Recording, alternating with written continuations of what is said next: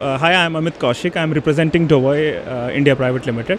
Uh, so uh, mainly we are into multiple businesses. So like uh, uh, industrial solutions where we sell enzymes for various industries. Apart from that, we are into animal nutrition as well, and also into grain processing.